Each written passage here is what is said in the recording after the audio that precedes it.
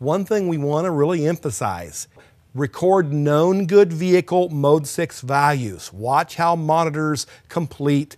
Watch how the numbers go from improbable or to right on the specifications or zeros to some other numbers that you can get your head around as it makes sense to you.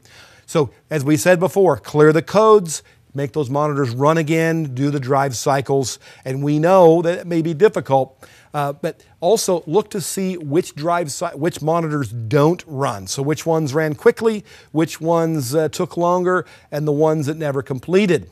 And beware, they may say they've completed and not thoroughly completed. I've known that. I can't tell you why, but I have seen it.